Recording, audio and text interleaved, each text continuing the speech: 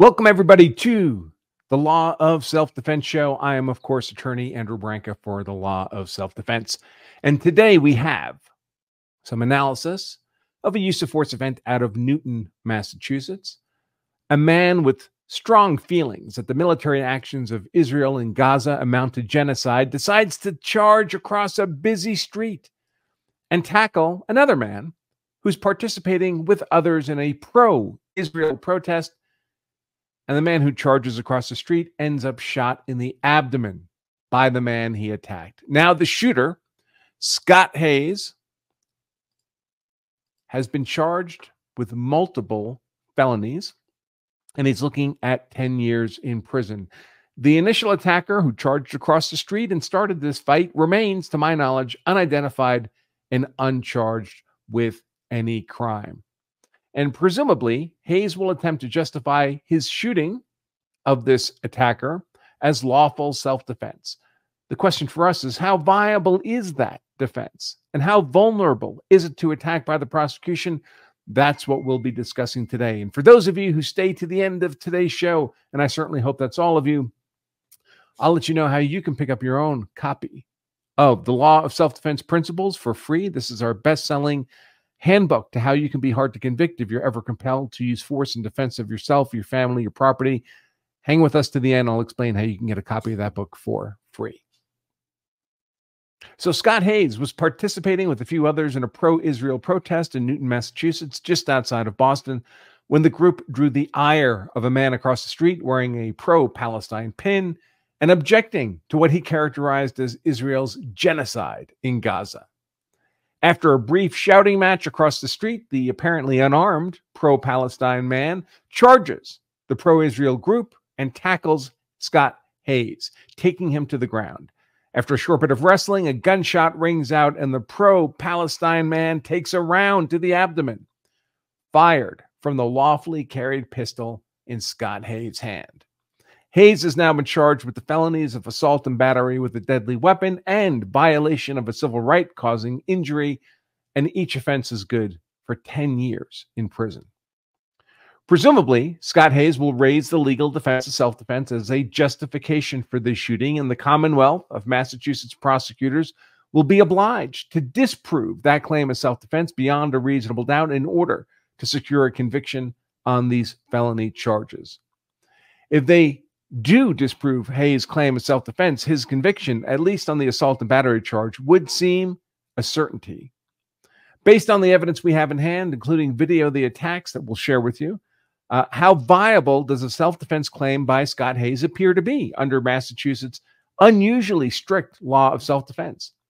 Conversely, how vulnerable does Hayes' claim of self defense appear to be to disproof by prosecutors? Approaching an answer to those questions is what we'll be striving for today. So let's go ahead and jump in. Before I do that, I should mention today's show is sponsored by our longtime partner, CCW Safe, providers of legal service memberships. What many people mistakenly call self defense insurance. In effect, CCW Safe promises to pay their members' legal expenses if the member is involved in a use of force event, like Scott Hayes is right now in Massachusetts. And CCW Safe does much more than that. I'm not saying Hayes is a member of CCW Safe. I have no idea about that. But CCW Safe does a lot more besides just pay its members legal expenses. There are a number of companies out there that offer or purport to offer this kind of service. Some of them are worth considering, different flavors, best suit different people. Some of the other offers out there are hot garbage I can never recommend to anybody. CCW Safe is my personal choice. I'm a member of CCW Safe. My wife Emily is a member of CCW Safe. If you'd like to learn why they're the best fit for me, why I trust CCW Safe, you can point your browser to lawofselfdefense.com slash trust. There's a short video there where I, I explain exactly why they're the best fit for me and perhaps the best fit for you. And also there you can get a 10% discount code for when you also become a member of CCW Safe. Again, that's at lawofselfdefense.com slash trust. Okay, so I've stated out the basic facts of this use of force event already. So let's jump into the first video clip on hand. And that's the bit of shouting between the pro Israel protesters and the pro Palestine man across the street. And here is that video. You are sick. Are you sick? You are just genocide. Genocide? Yes. But you are so stupid. You're so stupid. You're stupid. Now, that, of course, should have been how things ended right there with mere angry words rather than physical violence. But as it happens, the pro Palestine man who's uh, against what he calls genocide chose violence. He chose violence by charging across the street at the pro Israel group, tackling Scott Hayes, and getting shot shortly after taking Hayes to the ground. Now, fair warning the gunshot here can be heard on this video clip.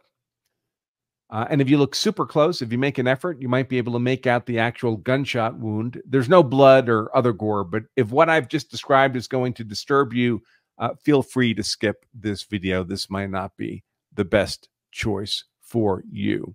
Let's go ahead and place the second video. This is where the gentleman actually charges across the street, tackles Scott Hayes to the ground, and gets shot for his troubles.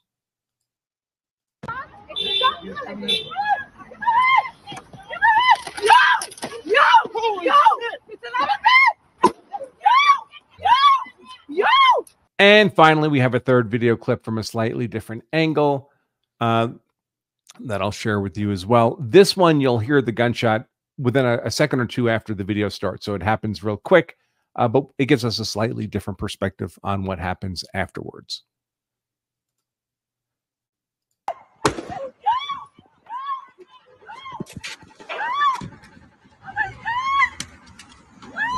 Grab my pistol. Grab my pistol. Stop. Stop. Get off. Stop. Call the cops. Call the cops. Of course.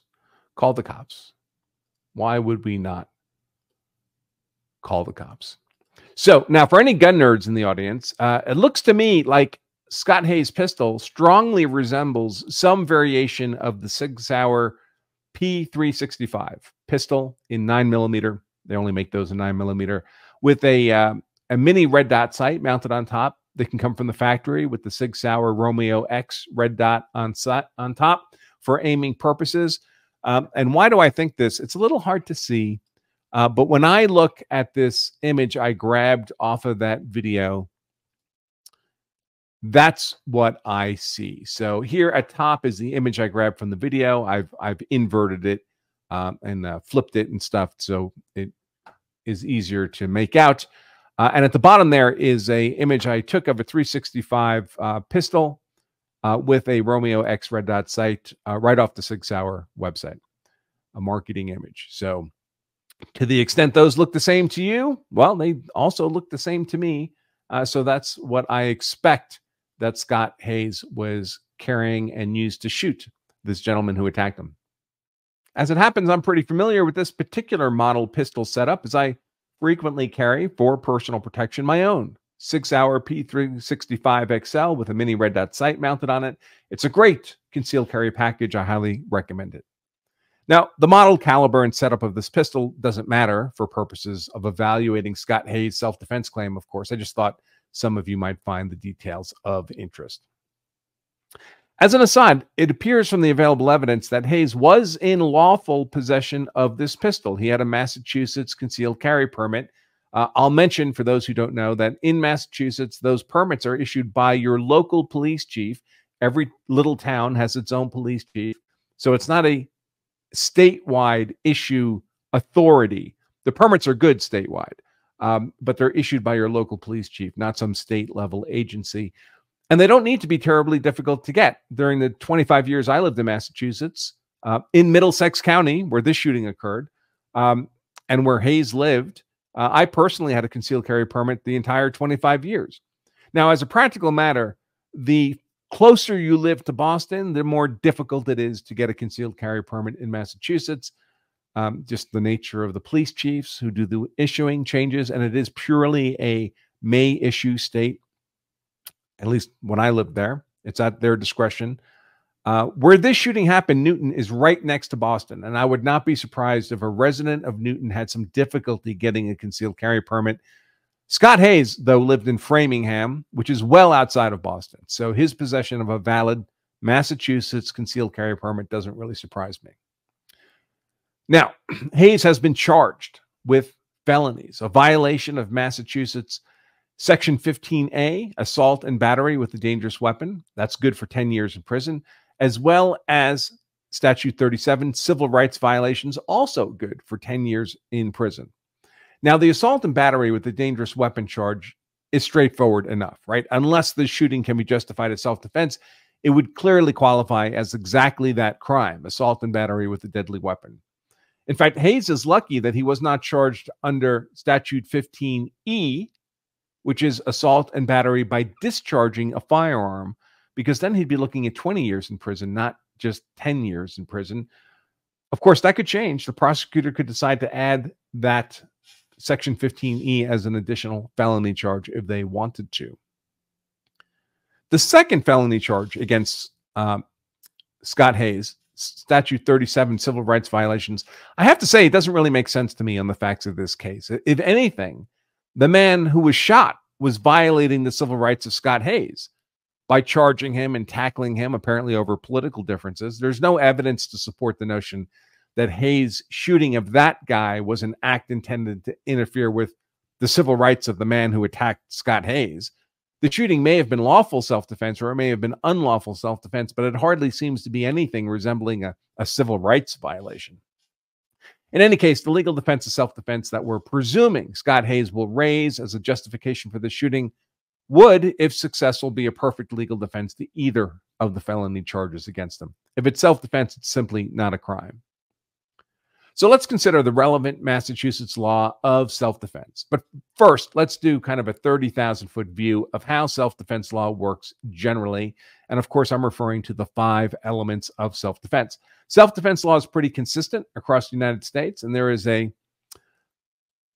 this is a reflection of how old and well established a body of law self defense is. Uh, any claim of self defense will consist of up to five legal elements. And for the claim of self defense to be effective, every required element must be present.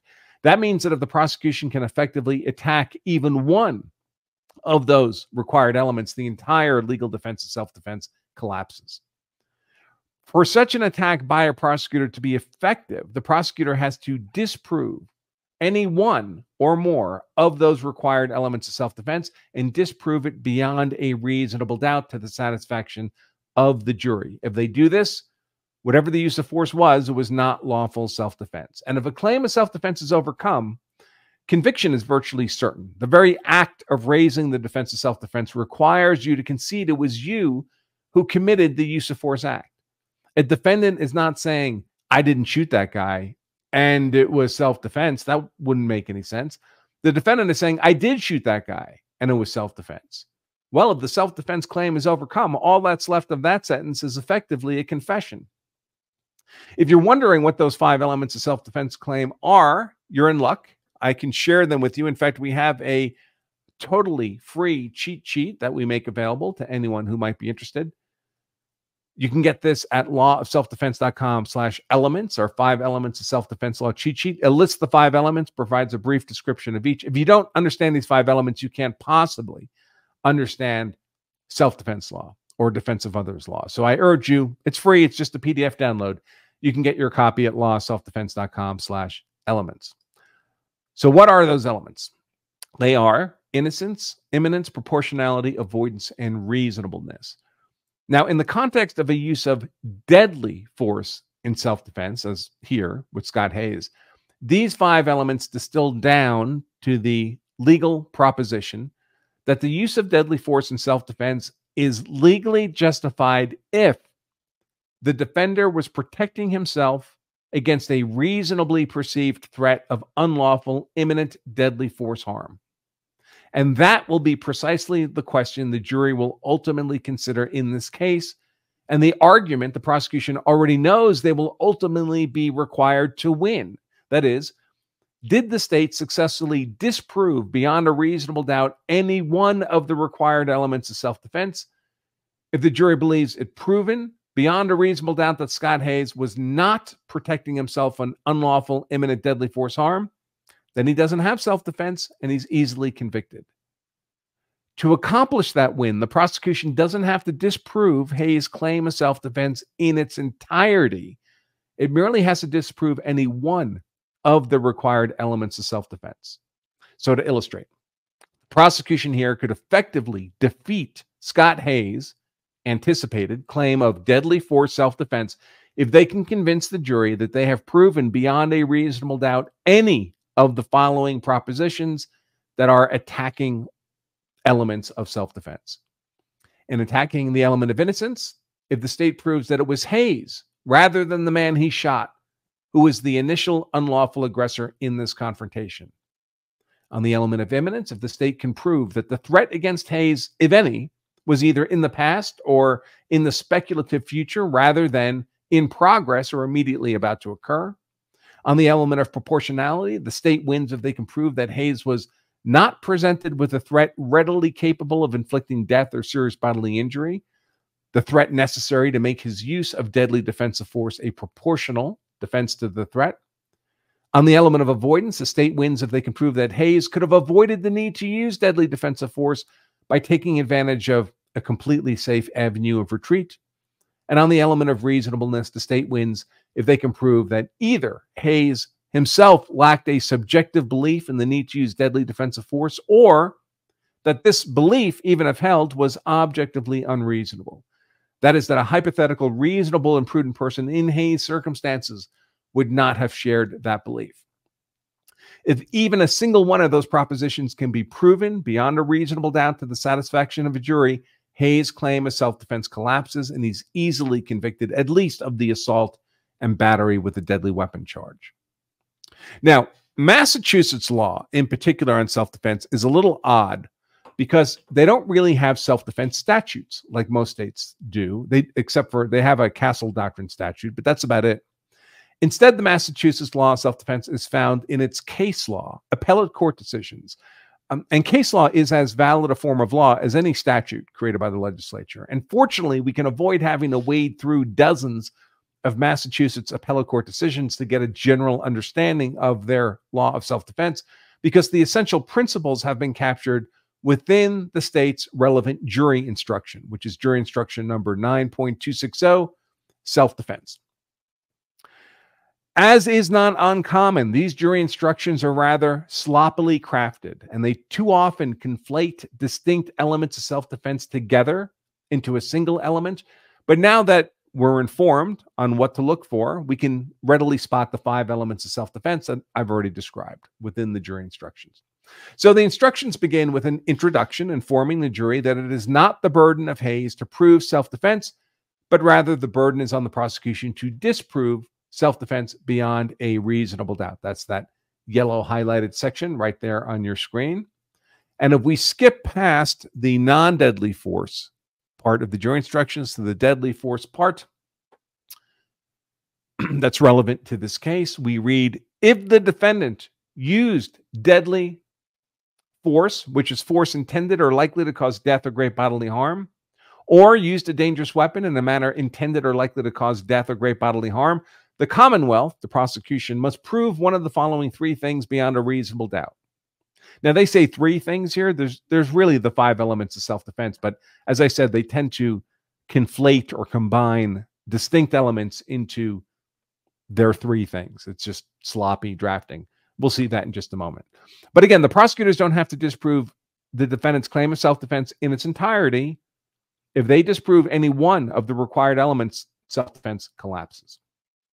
So, what do the jury instructions tell us the prosecution has to disprove beyond a reasonable doubt to overcome Hayes' claim of self defense with respect to his use of deadly defensive force? Well, it reads here first that the defendant did not reasonably and actually believe that he was in immediate danger of great bodily harm or death. Well, if we know what we're looking for, we can spot here the kind of sloppily conflated distinct elements of reasonableness. That's the subjective and objective components of reasonableness. And the element of proportionality, right? Reasonably and actually believe is reasonableness. And proportionality is the reference to great bodily harm or death. so if the prosecution disproves either of those, the reasonableness of the belief or the proportionality, self defense collapses. Alternatively, again, focused here on Hayes' use of deadly defensive force, the state wins if they can prove that the defendant did not do everything reasonable in the circumstances to avoid physical combat before resorting to force. And this is a reference, obviously, to the element of avoidance. If Hayes could have avoided the need to shoot by safely retreating, he'd have a legal duty to do so. And again, alternatively, another form of attack by the prosecution, the prosecution wins if they can prove that the defendant used more force to defend himself than was reasonably necessary in the circumstances. This is obviously a reference to the element of proportionality. Hayes could be justified in using deadly defensive force only if he were facing a proportional deadly force threat. The jury instruction then moves past to that to some other stuff. Um, that's also relevant to the facts of this case. Uh, it notes, for example, that here a person cannot lawfully act in self defense unless he is attacked or is immediately about to be attacked. And again, this conflates two elements the elements of innocence and imminence. The element of innocence, meaning the person claiming self defense must have been the victim of someone else's aggression. They can't have been the aggressor themselves.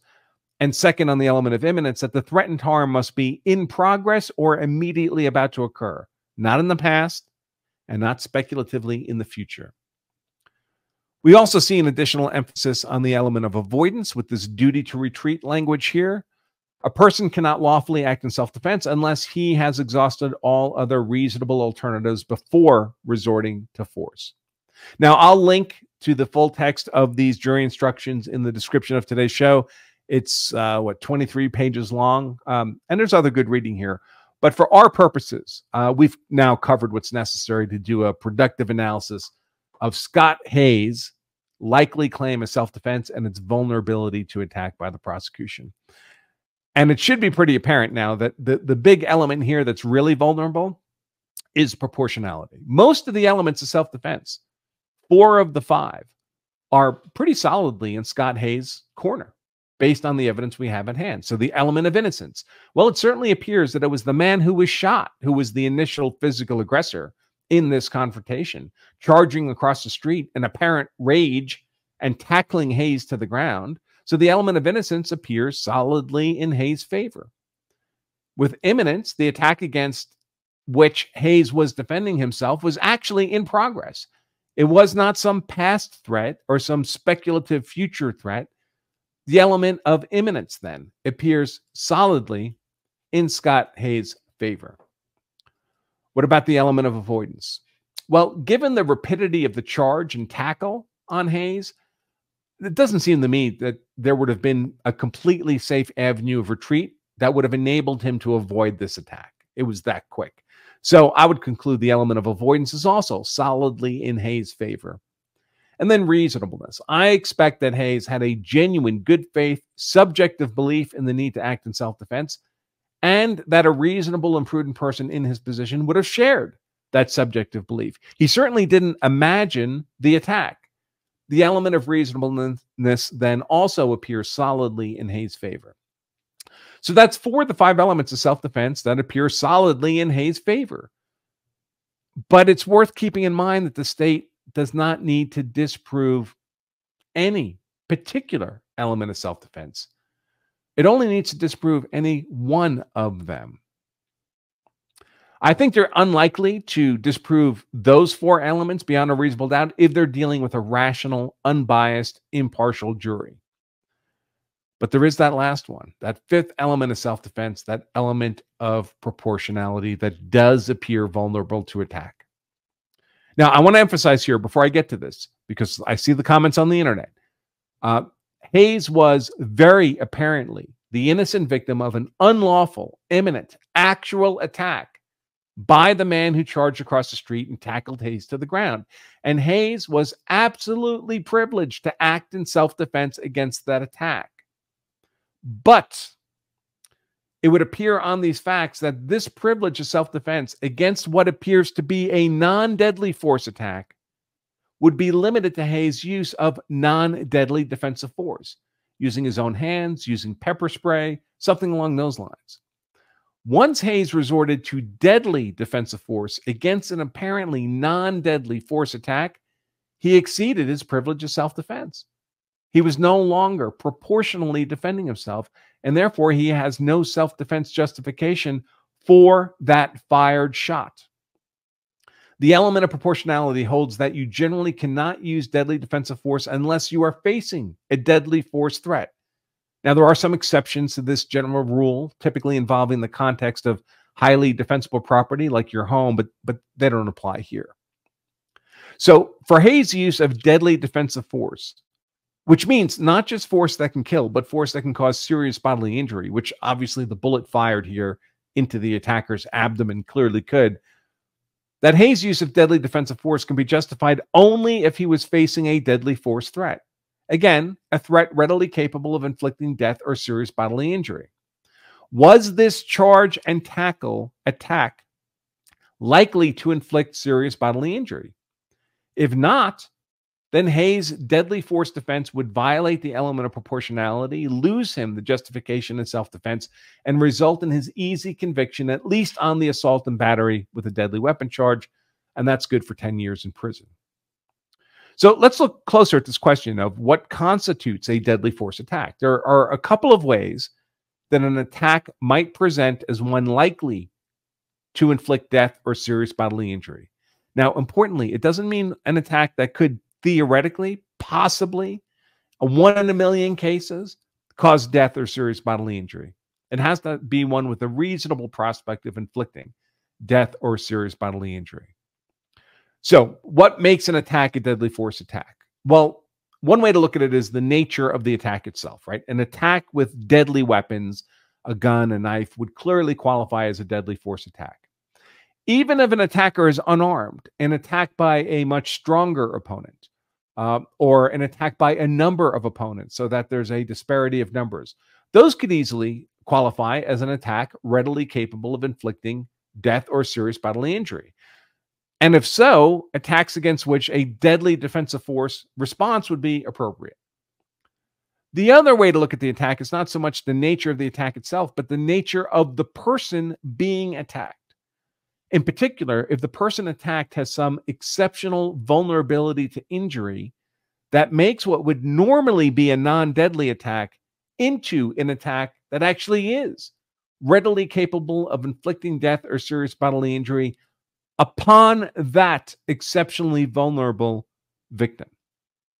A thrown fist, for example, absent some aggravating factor like a great disparity in strength, uh, a thrown fist is typically treated as a non deadly attack. People can be killed by a thrown fist, but it's so rare that by default, the courts will treat a thrown fist, a single thrown fist, as a non deadly force attack because it's not typically readily capable of inflicting death or serious bodily injury. But if the intended victim is, say, on prescribed blood thinners, that thrown fist is readily capable of inflicting death or serious bodily injury on that particular victim because of their exceptional vulnerability to hemorrhage.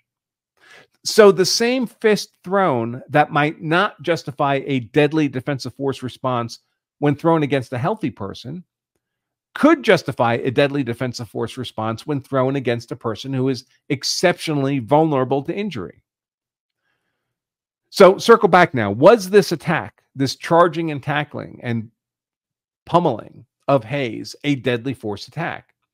It certainly doesn't appear the attacker here was in possession of any weapons. I, I didn't see any when he charged and took Hayes to the ground. So there, there doesn't appear to be a weapons based argument to support the notion that Hayes was subject to a deadly force attack. Nor does it appear that the attacker was much larger or stronger than Hayes. The attacker may have been younger, but actually appears physically smaller than Hayes. Plus, Hayes had friends immediately at hand who were able to, and in fact did, assist him against the lone attacker. So there doesn't appear to be a disparity of force argument to support the notion that Hayes was subject to a deadly force attack. Was Hayes exceptionally vulnerable to injury, such that being tackled to the ground and pummeled was reasonably capable of causing him serious bodily injury? Again, keep in mind it's not enough that such injury could theoretically happen. It would have to be reasonably expected. Absent some exceptional vulnerability to harm on the part of Hayes, I think this would be a tough sell for the defense. This is particularly the case given that the attacker was alone and Hayes was accompanied by others who we can see on the video were quick to come to his defense. In my view, the prosecution here can make a pretty robust argument that this tackling and some looks like untrained pummeling was unlikely to cause Hayes death or serious bodily injury, especially with friends immediately at hand, and therefore this attack was not sufficient to justify Hayes' use of deadly defensive force. Now, I want to engage in a little speculation. Uh, when I watch the video of this attack, there is a moment when Hayes is taken to the ground, and just prior to the gunshot, that I can hear some clattering type sound. Uh, you can listen for it yourself right here on this version of the video. It's about four seconds into this clip. Tell me if just before the shot you hear some clattering type of sound. I'll play this video a couple times. It's short enough for that. Here we go.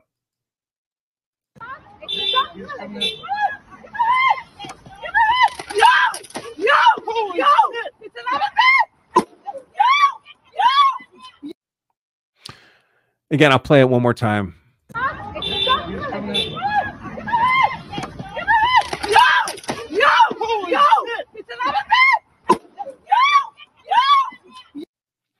Okay, so now there are things that could have caused that clattering sound, right? The, these flag poles here um, appear to be metal. Maybe they made the noise when they hit the ground, if they hit the ground. But I'm wondering if it's possible that Hayes' pistol fell out of his holster onto the ground when he was tackled. That wouldn't be beyond the realm of possibility. And if that happened, it seems likely the pistol would be in plain view of the attacker and subject to being grabbed by whichever of these two guys was quickest. If that's what happened, and again, I can't see this on the video, I'm speculating based on that clattering sound. But if that's what happened, then what we really have here is a gunfight with two men battling over the gun. It's just like when Kyle Rittenhouse shot Joseph Rosenbaum when Rosenbaum lunged for Kyle's rifle. And that shooting was determined to be lawful self defense, appropriately enough. If Hayes had a reasonable perception that he was in a life and death struggle for control of his pistol, then his use of deadly defensive force could be legally justified. Presumably, if this is what actually occurred, we'll have evidence of this, either from further video or from witness statements. So I don't expect this to be ambiguous for long once people know what to look for. So Scott Hayes' self defense does appear to be highly vulnerable on this element of proportionality. So, other than those weird scenarios, some exceptional vulnerability to harm on the part of Hayes, or a fight over a dropped pistol, uh, something along those lines, I'd be hard pressed to see much difficulty to the state's likely argument that even if Hayes had the other elements of self defense solidly in his favor, he was not faced with a deadly force threat and therefore could not be justified in his use of deadly defensive force, that he violated the element of proportionality and therefore lost the legal justification of self defense. In which case, Hayes' conviction on at least the felony assault and battery charge with a deadly weapon uh, would seem pretty certain, and he'd be looking at a 10 year maximum prison sentence. All right, folks, I said at the beginning I would share with you how to get a free copy of our book, The Law of Self Defense Principles.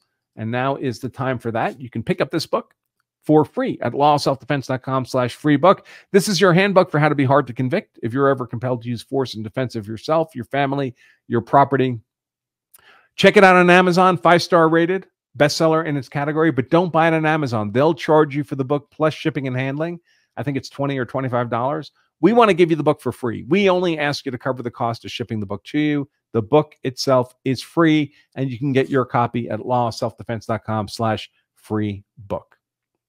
All right, folks, with all that done, I'll just remind all of you that if you carry a gun, so you're hard to kill, so your family is hard to kill, if you carry a knife, if you carry pepper spray, if you study jujitsu, I do all those things so that me and my family are hard to kill, then you also owe it to yourself and your family to make sure you know the law so you're hard to convict as well.